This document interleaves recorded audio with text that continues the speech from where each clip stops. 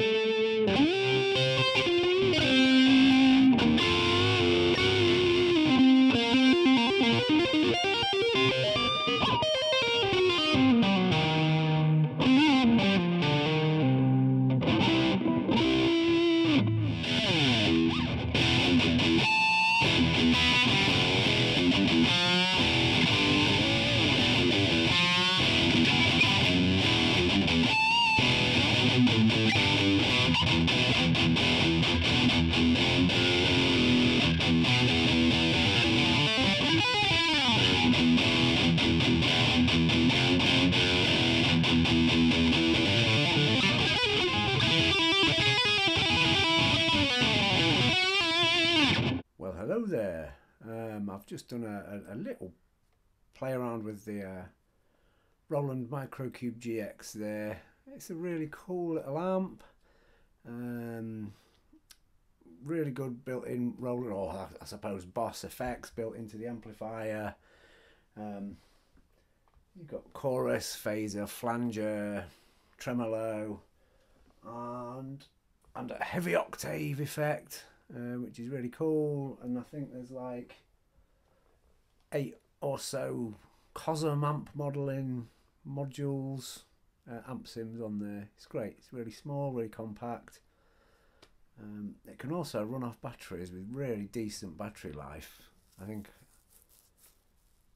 I think the batteries are meant to run for like 20 odd hours on six double A's, I think. So that's good performance. Um, yeah, real decent little bedroom practice amp.